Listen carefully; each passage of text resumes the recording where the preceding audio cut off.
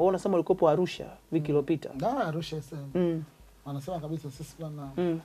pigeni manyimbo yenu, Pigeni. manyimbo yenu. Alafu sisi kishafika time tu ya Dr. Eli. Mhm.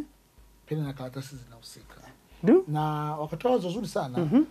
kwamba tukikaa vizuri tukazungumza Mm. tukafanye live talk show Arusha Mhm. Mm Mhm. na wao wanaweza wakatoa venue pale Mm. Mm. Mm. tukawa na muda wa kuzungumza na watu wa Arusha. Okay. Dr. Eli akaenda kamwaga nondos pale Mm. Mm. alafu chakula kwa bei rahisi kitapatikana Sawa. na tukawa na wakati wa mwafaka tukasema Arusha haiwezi kutangulia Dar es Salaam Mm. mm, Haiwezi, haiwezi. tutaanza da Haiwezi. tutakwenda Arusha Mm. wakati huo rafiki zangu wale wa Mwanza Mm. niliwaambia kwa kweli kwa sasa niliambia kwa Mm, mm. sijawaza Mwanza kusema utalaaniwa Eh? Eh. Namshukuru Mungu maana kwamba anatupa nafasi ya Sawa. sisi kuweza kuama watu wadau wachomoza Sawa. daktari wasemaga sisi Sisi hataki yani daktari utaongea. Kaambia daktari una, una tunatisha sikia. Ah ah ah, ah. Tunatisha. kwa kuwa wiki mbili sikuwepo nisijifanye mjuaji wa mambo nataka niwaruhusu sasa mwanzie. Mm. mimi kwa kawaida nachukulia hapo itakapoanzia mm -hmm. siwezi kuwa mjinga kiasi hicho mm -hmm. kwa hiyo sasa hata kama ujinga ni safari lakini kila safari ina kituo cha kupandia Eh? Wacha, eh, kila safari ina kituo cha kupandia Eh. iwe ndege utaenda airport Sawa. iwe unaenda na meli utaenda bandarini mm -hmm. kwa ujinga una mwanzo wake mm -hmm. wacha sasa nianze kuwa mjinga kwa kwanza kusikiliza yale ambayo yako mezani Daktari karibu. Asante sana. Habari za siku, Samuel Sisali. niko fresh fresh, Mungu. thank God. Mungu ni mwema sehemu yake anatenda na sehemu yangu najitahidi Yeah, hongera sana. asante Sehemu yake anatenda la kwako Se- najitahidi. na se- eh, That's the right answer. Sikukuacha. God is kijana Eh? nilimwacha katika hali ya utu uzima katika muonekano wa kihenga God is good. Wamenishauri. Clouds Eh, TV ya eh. vijana. Nabidi tuwe hivyo. Unajua uzee Mm. Sio umri. Mm. Uzee ni udhaifu na uzembe. Ijapokuwa mzee ni sifa, lakini uzee mm. ni udhaifu na uzembe. Endapo utakuwa bado na nguvu, mm. ujazoofika mm. wewe sio mzee, ujazeeka Umemwelewa papa hapo? sawa unasema ah, tabia za kizee sana kumbe ni sifa Eh, yaani tabia za mzee mm. ni sifa. Mm. Ina maana una experience mm -hmm.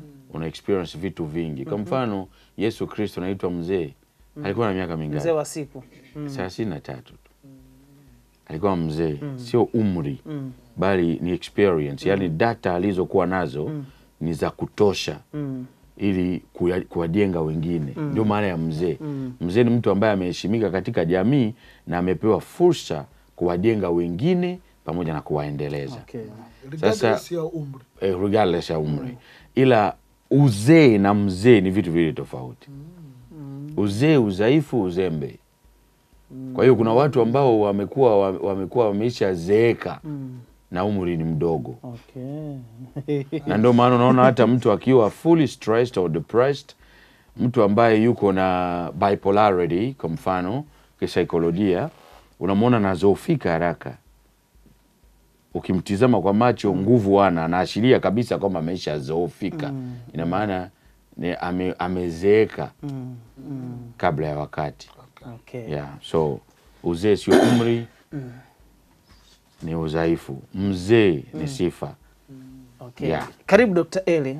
Asanteni sana ndugu watazamaji, hatujawasalimu tunawasalimu mm. kwa upendo wa dhati, mm. upendo wa Bwana mm. na Mwokozi wetu Yesu Kristo na upendo wa kwetu kwenu, kwa sababu mara nyingi watu wengi wanaambia watu Yesu anakupenda, Mungu anakupenda, lakini wewe je, unampenda au la? Kwa sababu kumwambia mtu Mungu anakupenda, sawa, hiyo ni sehemu ya Mungu, lakini wewe unayemwambia Mungu anampenda, unampenda au la? Mm. Now tulikuwa tunaongelea safari ya ujinga. Tulisema ujinga unaanza katika prenatal condition, mm. kabla hujazaliwa ujinga unaanza kukushambulia. Tumeshaongelea hilo. Tutakapo print vitabu itakuwa rahisi ili ujumbe ufike kwa upana wake, pages mia mbili pages mia tatu ina, inategemea, lakini kwa sasa hapa on TV inabidi tukupelekee first aid, yaani kama unatibiwa fasta fasta ili urudi angalau katika hali yako. Well tulifikia hatua ya pili ambayo ni nyeti sana Mm. tulisema mm. mtoto akiwa tumboni anaathirika sana sana kwa tabia za wazazi mm. lakini ukishazaliwa sio tabia za wazazi tena mm. wewe unaanza kuwajibika kwani maisha yanaanza kwa uhuru ndio maana ili uishi vyema na mtu usiingilie uhuru wake watu wengi sasa dunia hii tunaingiliana katika uhuru na wengine tayari wameshatekwa hawana uhuru zamani kulikuwa na mtazamo na leo watu wengi wanakosea wanafikiri mapepo wako responsible kwa kufunga maisha ya watu leo hii mapepo wafungi watu wengi watu wengi wanafungana wenyewe kwa wenyewe katika hali hiyo ya mob psychology mm. wana wana hiyo tunaita shinikizo yaani utakuta jimi ana tabia za sam ina maana umefungwa na sam, na sam. mm. sam ana tabia za kwako maana umefungwa ameku, wewe e, umemfunga mm. kwa hiyo mapepo wanatumia sasa vigezo vya watu kwa sababu sasa hivi dunia ina njaa ya, ku, ya kuwa pamoja ya, ku, ya kuwa karibu lakini hatujali umoja hakuna kitu kibaya kama ku- kuwa karibu pasipo na umoja mm. ni hatari mm. ndio maana bora mtu akushambulie kwa mbali kuliko kwa karibu mm. wanaokutukana kwa mbali wajui mm.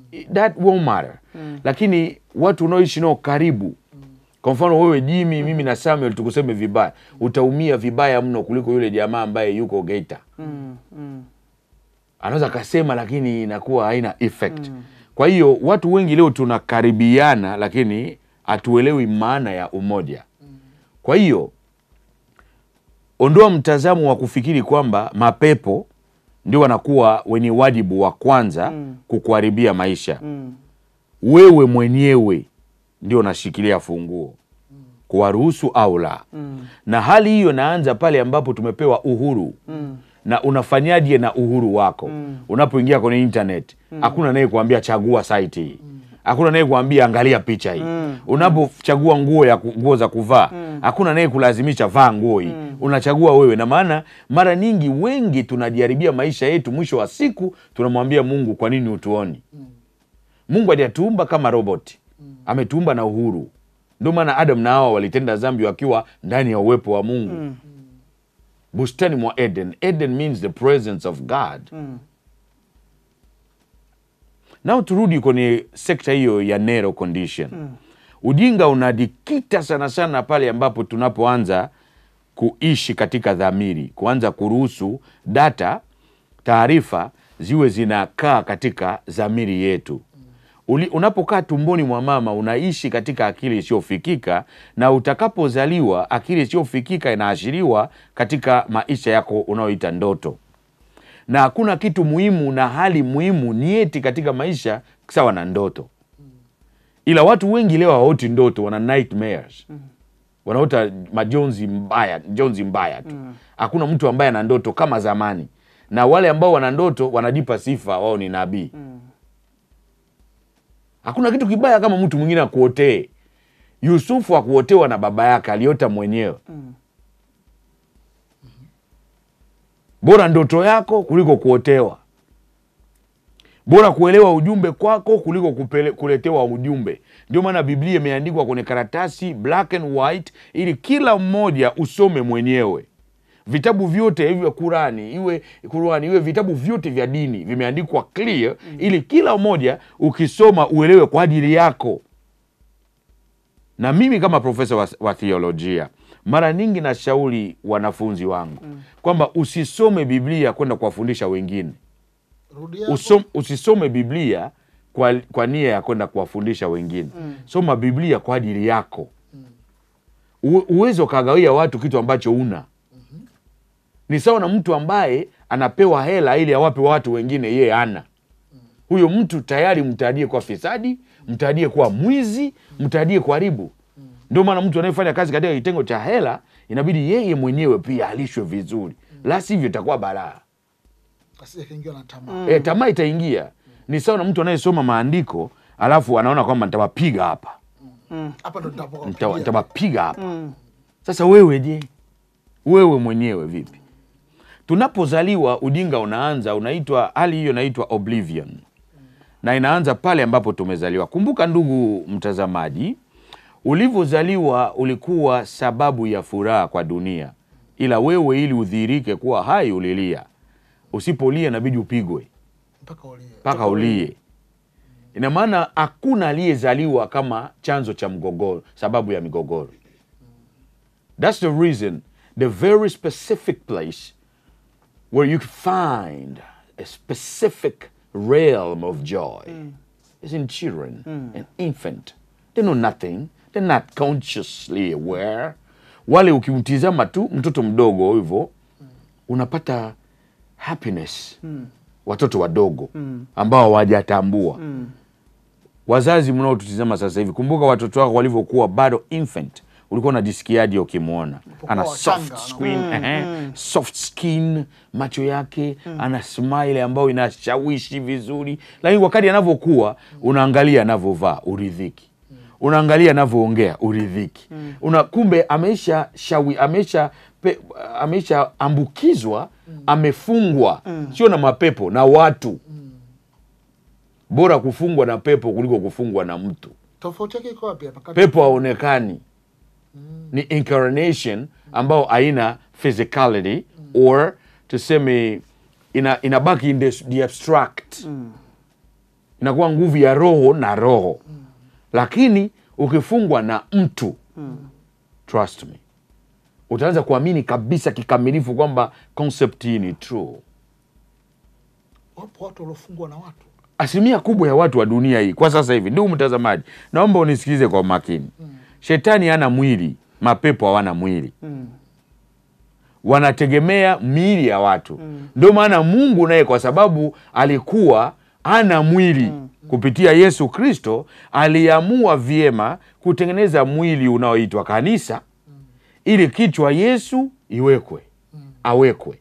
Unakumbuka kuna sehemu Yesu alisema, alisema yani mimi si mwana wa Adamu ana pa mm, mm. Watu wengi walikuwa wanatafsiri kwamba Yesu hakuwa hata na pakulala. Sio kweli, mm. alikuwa na pakulala, lakini yeye alikuwa kichwa cha kanisa, lakini kanisa lilikuwa bado halijaanza. Ndio maana alisema ana pa kuweka kichwa. Unaweka kichwa kwenye mwili. mm. Sasa kanisa ndo mwili. mm. Kumwona Yesu unaona mwili wake mm. katika ulimwengu huu kinachomtambulisha Yesu katika ulimwengu wa mwili ni kanisa. mm. Kwa hiyo mapepo hawana kanisa. Mwili wanaotumia ni mwili ya binadamu. Kwa hiyo inabidi uwe makini na people you hanging around with. Unakaa na kina nani? Unachukua vitu gani ambavyo ni muhimu kwako? Kuna friendship ambao tuna create sisi za kutuletea madhara. Unaanza mahusiano ya kutuharibia ya kukuharibia wewe mwenyewe mm. mwisho wa siku utamlaumu yule mtu, kumbe anayeharibika ni wewe. Na kwa sababu ndio uliyeanzisha pengine. Yeah, wewe ndio uliprovoke kwa sababu bora kushambuliwa na unaacha distance baki hivyo hivyo mm. kuliko wewe kuleta mashambulizi maishani mwako mm. utakufa moja kwa moja. mm. Ni sawa na mtu anayetizama simu eh, nani sumu sorry, na mtu aliyeamua kunywa sumu mm.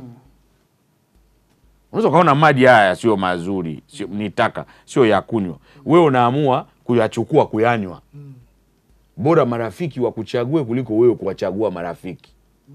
bora marafiki wakuchague kuliko wewe kuwachagua kwa sababu wanaokuchagua ina maana wana fit in your life. mm. Ukiingia dukani kuchagua kiatu mm. na unachukua unakuta kiatu ambacho kina saizi ya kwako, mm. mm. sio wewe ulichochagua kiatu, kiatu kinakuchagua kwa sababu kilikuwa tayari kwa ajili yako. Let's get back to the, the, the, the concept. Ndugu mtazamaji, ulipozaliwa ulikuwa na macho lakini ulikuwa utumii macho yako kuona. Ulikuwa na masikio lakini utumii masikio yako kusikia. Ulikuwa na mdomo lakini utumii kinywa chako kuongea. Ulikuwa kimya, kazi yako ni kulia ukiwa na njaa, una respond kwa mwemko tu na hisia lakini kwa kadi ulivyokuwa nakuwa una kabla tujafikia stage hii ya tatu tunaoitwa mimic mtoto hapo tukumbuke asili hiyo tunaozaliwa nayo mm -hmm. ndio asili ya kufight ku maintain hata ukiwa na macho mm -hmm. watu wote waliofaulu maishani ni wale ambao watumii macho kuona mm -hmm. wanatumia macho kuangalia, wanatumia fikra kuona. Wakati wote unakumbuka kwamba nilivyokuwa mdogo nilikuwa sitizame kwa macho haya, mm -hmm. naona kwa ndani. mm -hmm. ndoa zote zilizodumu ni ndoa ambazo zilijengeka kwa asili ya kuto kutumia macho haya kuona kwa sababu ya macho yanakuwa judgmental kwani ukiona kwa ma, ukitizama kwa macho hatua ya kwanza ya, pers ya perception mm. perception inapitia kwenye dhamiri kwanza kuverify hiyo data ndio maana mtu hata akikuandikia kwa makosa unaweza ukasaisha makosa unasoma sawa. Mm, sawa kwa sababu ndani mwako us, unasoma vile ambavyo unavijua tu. Thats the reason wakikuandikia kichina mandarin uta, utaona kama ni picha tu. Uwezi ukasoma. Mm. e, Mchoro mchoro tu kwa sababu wewe ndani una data. mm. yes. Tunasoma vitu ambavyo tunavijua. Na mahali ambapo tunavijua data za kwanza ambazo zinaitwa logic mantiki ni katika zamiri. Ndio akili yetu ya chapchap tuliochukua hapa dunia hii so unapotizama mm. akili hiyo inapo nani maneno yanapoingia mm. kwa macho haya mm. yanaingia kupitia pale moja kwa moja ukiverify mm. unaweza ukahakiki haraka alafu unachukua hatua mm. unasukuma mwili mm. ila watu ambao wa- hawatumii haya macho kuona mm. wanayatumia kwa kuangalia tu mm. wale wanakuwa visionaries ndio maana wenye ndoto ni wale wanaoota ndoto mm. ni wale ambao wanatumia macho haya kuangalia Jimmy kuangalia ule amevaaje na mi nivae kama yeye ndio wanaoota ndoto. Lakini wenye mwamko ni wale ambao wanaona kwa ndani. Ndio visionaries. Wanatazama kwa kutazama kwa kutumia fikra. Fikra. Fikra. inawezekana akawa anasoma ujumbe mm. lakini ujumbe wake kwenye fikra yake una picha tofauti kabisa na kile ambacho anakiona. Meza ikawa tu ni neno la kawaida lakini yeye ameshaona miaka mitano miaka kumi ya hilo jambo akikuangalia wewe hakuoni kwa mtazamo wa nje mm -hmm. kwa sababu amtu too judgmental Yeah. kwa mtu ambaye amevaa nikiona mtu amevaa kama hivi na tafasiri yangu ya ubongo kwamba unaovaa hivi ni wa, wa, wako namna gani lakini kuna mtu anatazama kwa jicho la kifikra mm -hmm. huyu ana tofauti sana kwa sababu ni visionary mm -hmm. yeah. ah, okay. yani na tofauti kubwa sana mm -hmm. I'm gonna give you another example mm -hmm. ukisahau ulikotoka ina maana umeshapotea unakokwenda. Kwa sababu katika safari zozote zile kuna point of start starting point. Hata wanaokimbia mnajua tunakimbia kuanzia hapa ili tufike sehemu fulani. Usipoelewa ulikoanza utajuaje kama umefika? Ndio maana barabara ya kwenda morogoro inaitwa morogoro road. Sio morogoro. Ubungo hapa tu tunaita morogoro road. Lakini hapa tuko ubungo ila ukiingia katika barabara hiyo utafika morogoro. Ni sawa na maisha. Kabla hatujazaliwa mwenyezi mungu ndugu mtazamaji alijaza data ndani mwako. Leo tunakuwa na utaalamu wa kuwaone, kuoneana. Kwa mfano unasikia topic nyingi. Sisi ni watafiti. Naomba na wewe ufanye utafiti. Utakuta kila mmoja anamwambia mwenzake kwamba mtu anataka aambiwe alizaliwa kwa nini. Kusudi la yeye kuzaliwa nataka nikupe njia nyepesi tu. Wote tumezaliwa kwa kusudi moja ila kwa sekta tofauti ya uwajibikaji. Ila ili upelekwe katika sekta yako ya uwajibikaji inabidi ukae ndani ya sehemu maalum ya kusudi kuu ya wewe kuzaliwa. Nasikia samuel alikuwa anaongea hapa kabla ya kipindi kabla sijaja. Alisema kuna mtu mchungaji aliyemwambia aliyegundua kipaji chake. Mm -hmm. kuna tofauti kati ya kipaji chako mm -hmm. na kusudi lako. Mm. unaweza ukawa mtu wa kutengeneza video. Unaweza ukawa mtu wa kuimba. Mm -hmm. lakini kusudi lako ni kitu kingine kabisa tofauti. Mm. ila ni kipaji sasa una kipaji. Ila kusudi ni kitu kingine. Kwa hiyo inawezekana kipaji ikawa ni tool ya kuelekea kusudi. Definitely you're right. Ongera sana. Well ni mean. Ni means ya kukufikisha kwenye kufikisha kwenye- kusudi lako. sasa kusudi kuu ambao watu wengi tunakosea. Mm.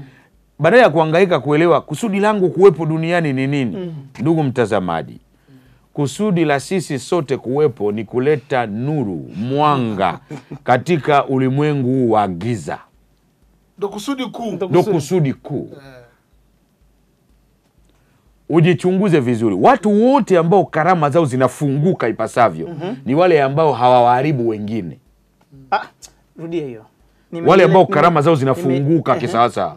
Hawa- hawana nia ya kuharibu wengine. Wana nia ya kuwaokoa nia ya kuwa save nia ya kuwa serve nia ya kuwaepusha nia ya kutunza sifa zao au watu majina yao yabadilike nakupa mfano mmoja tu hai tulio nayo katika nchi hii mwalimu nyerere maisha yake yote alikuwa na nia mm. ya kupigania tanzania mm -hmm. kutunza tanzania mm -hmm. na watanzania nani atakaye msahau Hakuna. Ni staa milele mm. endapo dunia hii itaendelea kuwepo mm. kwa nini kwa sababu nia mm. ukiwa na nia ya kutokuharibu wengine mm.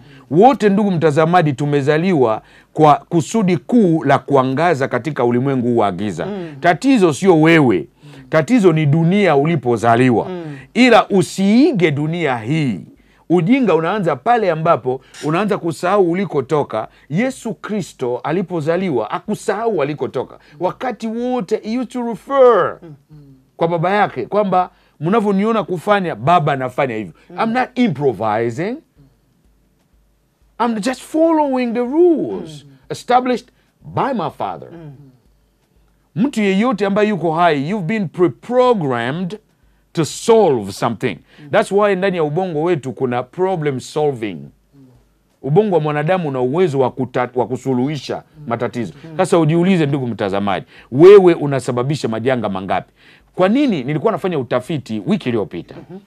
Nikasurf sana na pekua pekua hapa na pale. Kwa nini habari mbaya inakwenda faster kuliko habari njema. Eh, huyu hapa ameoa ni habari ndogo tu mm. kawaida mm. lakini amefumaniwa inakuja juu mm. gazeti zinauzwa mm. unaona huyu mm -hmm. hapa litapeli Kagombana. eh, kawekwa ndani kachana na mke wake. mke wake kaachana na mume kakamatwa yani hapo habari hiyo inakwenda kwa spidi mm. unaweza nilikuwa na tafakari why kwa sababu mara nyingi watu wengi tunaangalia downsides negative sector we got to, in, to be inclined into some sort of positive attitude. Ili uone pia vyema. Mm. sio mabaya tu. Mm. Uki, mtu akiwa namuona mwenzake kwa, ma, kwa mabaya tu hajamuona. Mtu akimuona mwenzake kwa mabaya tu hajamuona. Hajamuona. anayekuona kwa mabaya tu ndugu mtazamaji hajakuona. Mm. kwa sababu mtu yeyote ama na give you an example. Kuna mtu ambaye yuko kabisa social path ana hata mguso na jamii lakini mke wake anampenda hivyo hivyo hata Osama. Hata Osama. Osama Eh, bin Laden. ina maana kila mmoja wewe unachokataa mwenzako anapenda. Wewe kama utaki ndizi wachaga wanakula na waha, na wahaya. Wewe kama utaki migebuka waha wanakula. Mm. unaona hiyo? Mm. Yani ubaya wako ni sifa kwa mtu mwingine. Mm. so ukimwona mtu kwa mabaya tu ujamuona let's get back to that essential part of the topic. Watu wengi leo tunawahi kuona mabaya na ndio asili ya dunia hii. Mm -hmm. ukiwa unaongea mtu ubaya ubaya ubaya yani unauza sana. Mm. -hmm. why? Kwa sababu ndugu nilipata majibu kwamba katika utafiti huo mm. -hmm. na wewe jaribu kufanya utafiti. Ubaya ni sawa na maharage ambayo we- upasi kula. Ukishachambua maharage unayaweka kwenye kwenye sahani kwenye sufuria kwenye beseni mm. -hmm. ili umalizie proses ya mwisho. Maharage yale yanayokuja juu mm. -hmm. sio ya kula Are you getting that? mm -hmm.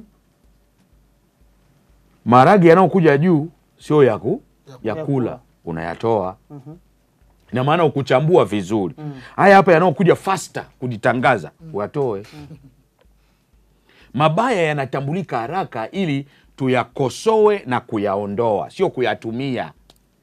Watu wengi mabaya yanakuja kwa faster, kwa kasi tunayachuku, tunachukua mabaya badala ya kukosoa na kuondoa mm. sisi tunatumia mabaya mm. na hatutakula ndio maana utakuta mtu anamchukia mtu for no reason unamsema mtu vibaya ili mwishoni upewe mshahara wa shilingi ngapi What? unamsema mtu vibaya mm. ili mwisho wa siku upewe kiasi cha shilingi ngapi mshahara mm. kwa kumsema vibaya unapoteza energy of life na taarifa kwako kama mtaalamu wa psychoanalysis theology and philosophy na kusi uelewe hili. Hakuna there is no power to change other people. None of us has such a power. Individuals wana power hiyo. Mtu binafsi. Mtu binafsi ndiye ana nguvu ya kubadilisha kujibadili mwenyewe. Mm. sisi the only power and possibility we have is to either influence or motivate. Mimi kama ninavyoongea hapa na, na kuhamasisha au naweza nikakushawishi mm. lakini mwenye kuchukua hatua ni wewe sio mimi hakuna mtu anayeweza kumbadilisha mtu na nini mwenye mahusiano achana na kupoteza muda wako kuanza kujitahidi kumbadilisha mwenzako utaweza mtu anabadilika mwenyewe Yeah. That's the reason wanaoahidi mabadiliko hata kisiasa. mm. Tuachane na watu wa siasa hapa, mm. sio kitengo cha siasa. mm. Sasa mabadiliko yanayoahidiwa, wale walioahidiwa mabadiliko wanasubiri yule aliyeahidi awabadilishe. baada ya kubadilika Eh, sasa ndio maana ichukue muda, utakuta watu wanakasirika, mbona wabadiliki? Atawabadilishaje? Nini inabidi wabadilike wenyewe. Hakuna anayeweza kubadilisha mwenzake. kila Kila kuhamasisha anakuhamasisha, anakushawishi ili wewe uchukue hatua. Hata Mungu abadilishi watu. Can you imagine? Mm. Mungu akiwa anabadilisha watu maisha yatafaa. Inabidi uwe aware ya mabadiliko ili uenjoy mabadiliko. Bora kubadili kuliko kubadilishwa. rudia tena hapo. Bora kubadili kuliko kubadilishwa. Eli unanichanganya sasa. I'm telling you. Da. So ukibadili utakuwa aware kwamba I did this. Mm -hmm. Ni sawa na mtu ambaye unaendesha gari alafu unasikia brake, wewe hujakanyaga. Utajisikiaje? unasikia gari imeshika tayari Eh. ama wewe uko gia namba mbili unasikia gari imefika spidi mia moja na ishirini ina maana hiyo gari utaangalia gear level alafu unajiuliza what's happening? Hmm. lazima upaki ili ujiulize kwanza kuna tatizo gani? Kwa hiyo ukibadili utakuwa ni shuhuda wa kile ambacho kimebadilika. I didn't get that. Kubadili. Unasema ni heri yeah that's kubadili- that's that's what i get you kubadili kuliko kubadilishwa. kwa hiyo nikibadili nitajua ninajua process. Unajua kabisa i did this. Ah, okay. Unakuwa responsible. Ndio maana responsibility ni the, the ability to respond responsibility. Ndio responsibility. It's ability to the ability to respond.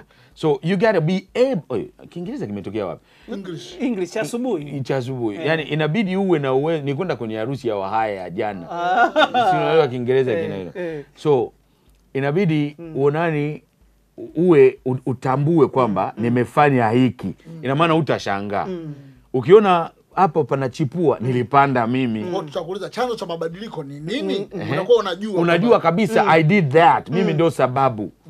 Ndio maana mwana niwepe tena mfano. Na, na, I, I'm so happy mm. na Jim Sam sasa amerudi. So timu imekamilika. Mm -hmm. well I want to tell you something. Ndugu mtazamaji listen carefully to this.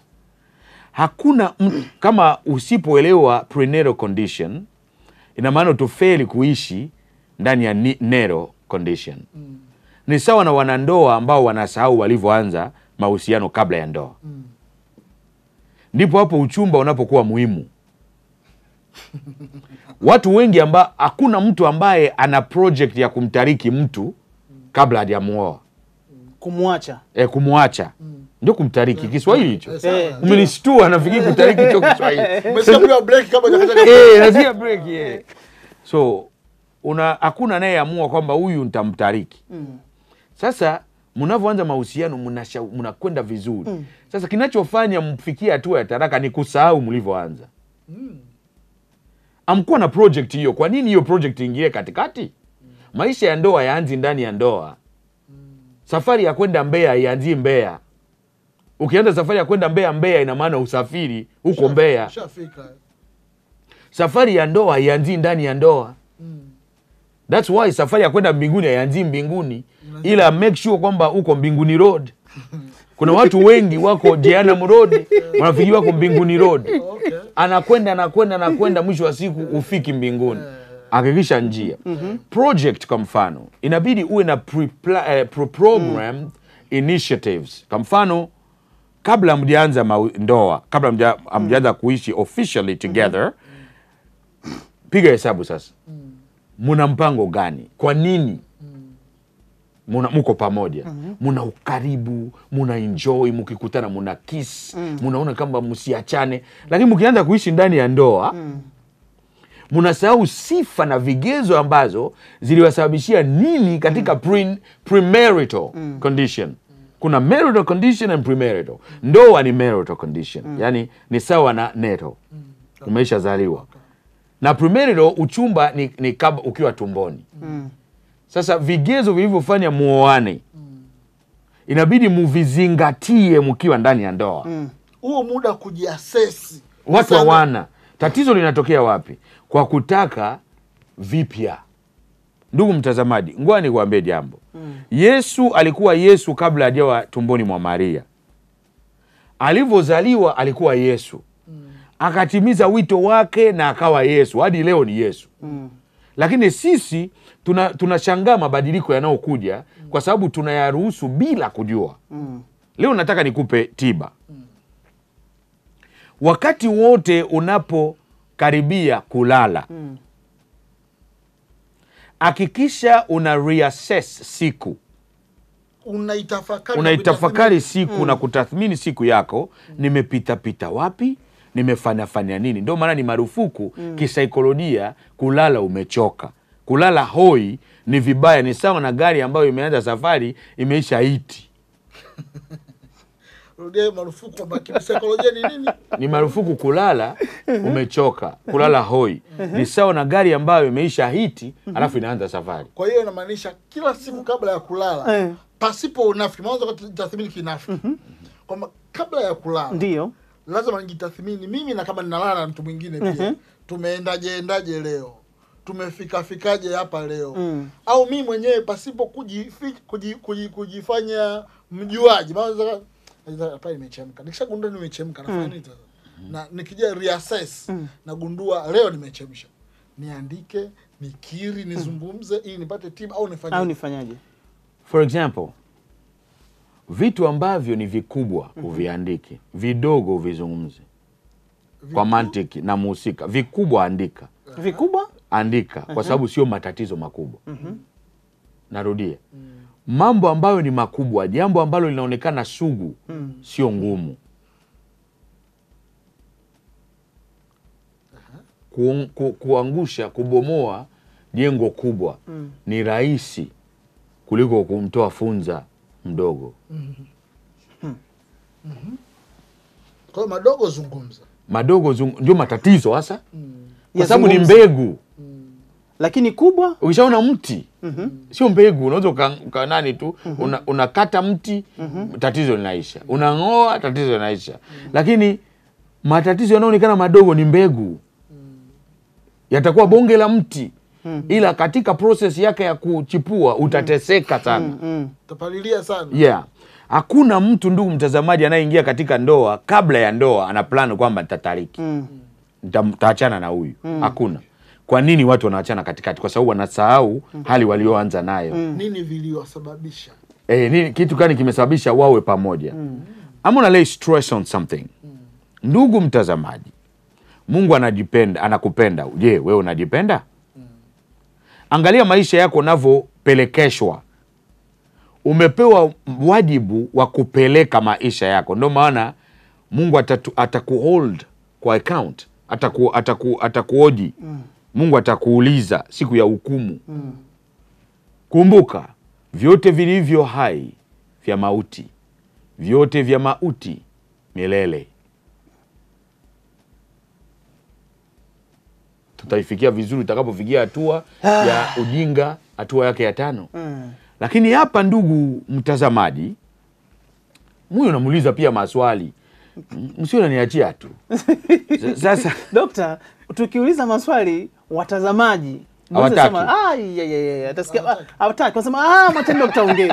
Kuna sisi tunajaribu kuwa wapole kidogo, sio kwamba tuna maswali dokta, sama alipanga kwamba leo hata niacha atanikamata Ah, kwamba hata acha- hata kuacha salama. hata niacha salama. Namsubiria ngoja nimalize hii point. Well i love you guys. So i love you. Love you too. Don't say that. Why? Love you too is not motivational. Eh. ndugu mtazamaji nilisema hiyo marekani. Nili- ni- nilikuwa nafundisha kuna vitu ambavyo vinabidi tukuvikosoa. Na haya yote ni matatizo ya mimic.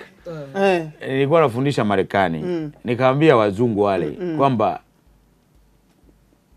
why mnasema i love you too? Hiyo mm. tu inakuja baada ya koma.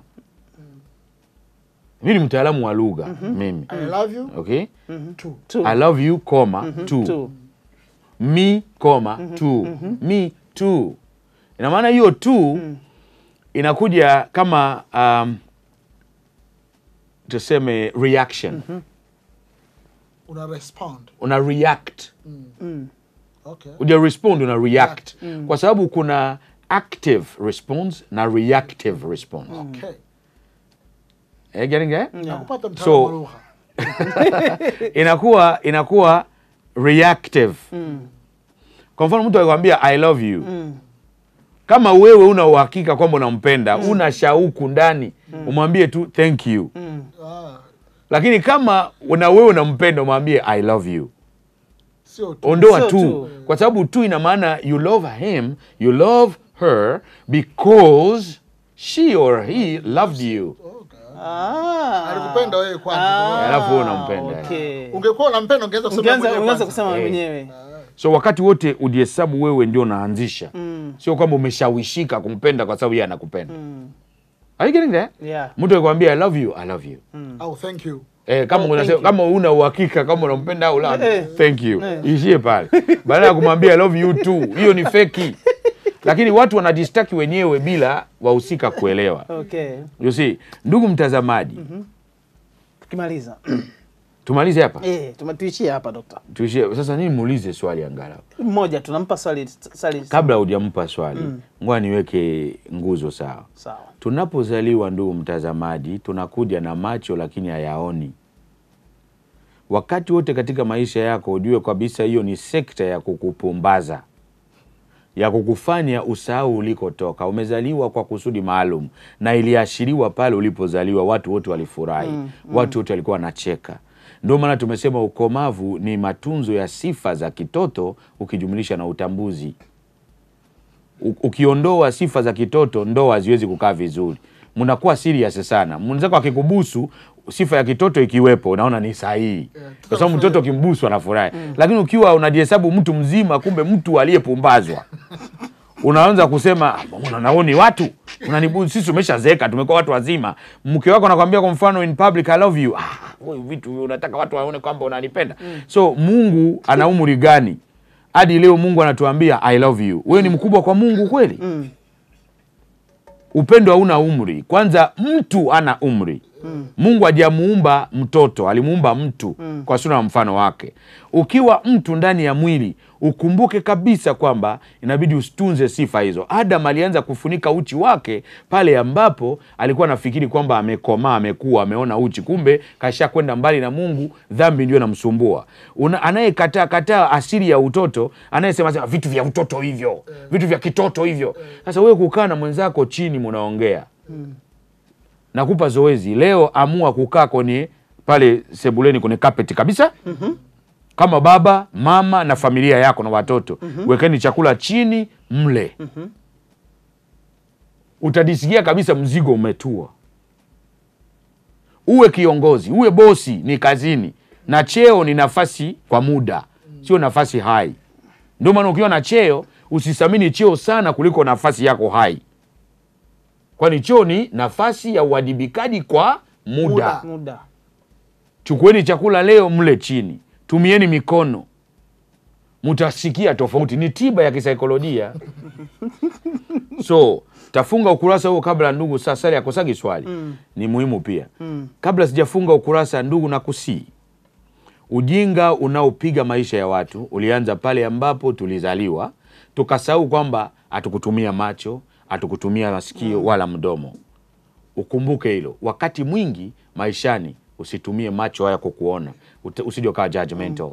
Usiatie masikio yako kusikia sana na usitumie kinywa chako kuongea sana.